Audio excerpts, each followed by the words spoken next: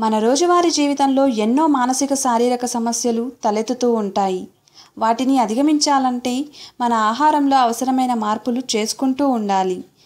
చాలామందికి గోళ్ళు కొరికే అలవాటు ఉంటుంది. ముఖ్యంగా అమ్మాయిలలో ఎక్కువగా ఉంటుంది.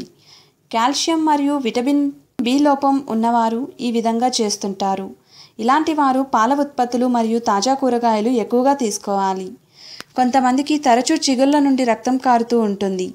బ్రష్తో గట్టిగా తోమడం వల్లే ఇలా జరుగుతుంది అనుకుంటారు. కానీ దానికి అసలు కారణం విటమిన్ సి లోపం. నిమ్మజాతి పండ్లను ఎక్కువగా తీసుకోవడం వల్ల ఈ లోపాన్ని నివారించవచ్చు. సాధారణంగా జిడ్డు చర్మం ఉన్నవారికి కూడా అప్పుడప్పుడు చర్మం పొడిబారిపోతూ ఉంటుంది. దానికి ప్రధాన కారణం డీహైడ్రేషన్ కానీ పోషకాహార లోపం కానీ అయి ఉండొచ్చు. ఇలాంటి వారు చేపలు తాజా కూరగాయలు పండ్లు వంటివి తీసుకోవాలి. నిద్రలేమి కాలు నొప్పులు దీర్ఘకాలంగా బాధిస్తున్నాయా? అయితే జాగ్రత్త పడండి. పొటాషియం మెగ్నీషియం లోపం వల్లే ఇలా జరుగుతుంది. ఇలాంటి వారు పాలకూర అరటిపండ్లు వంటివి ఎక్కువగా తీసుకోవాలి. సాధారణంగా ఉప్పు సరిపడ తీసుకోవాలని అందరూ అనుకుంటారు.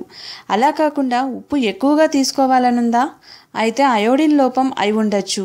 అలా అయి ఉంటే వెంటనే దానిని నివారించే మార్గం చూడాలి. ఈ వీడియోని లైక్ చేయండి సబ్స్క్రైబ్ చేయడం మర్చిపోకండి.